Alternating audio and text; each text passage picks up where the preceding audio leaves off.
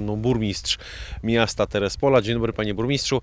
Jesteśmy w podróży po mieście Terespol, aby pokazać co ciekawego e, pojawiło się na terenie miasta w roku 2023. Powoli będziemy ten rok podsumowywać.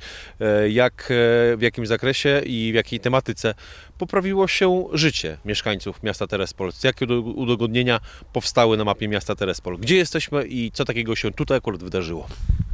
Dzień dobry, witam serdecznie. E, Tak, w mieście Terespol w bieżącym roku, czyli w roku 2023 przeznaczyliśmy na inwestycje kwotę ponad 20 milionów złotych.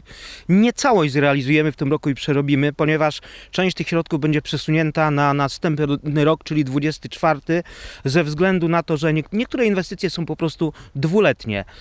E, Dzięki współpracy z rządem Rzeczypospolitej Polskiej, bardzo trafnym decyzjom, strumień pieniędzy popłynął do samorządów, innymi z Ładu Polskiego.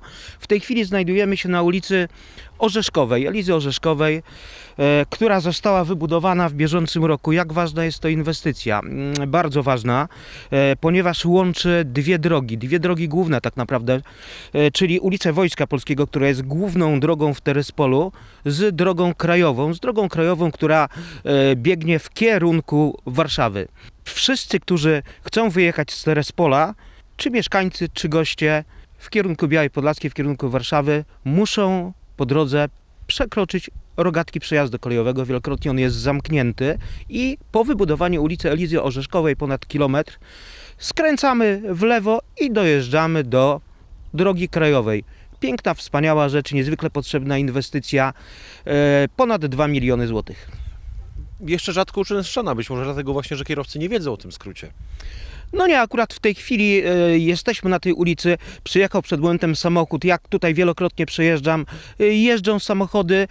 Pewnie częściej próbują oczekiwać na zamkniętym przejeździe e, ch- chwilkę dłużej i dalej jechać w kierunku Warszawy. Przyzwyczajenia. Tak jest.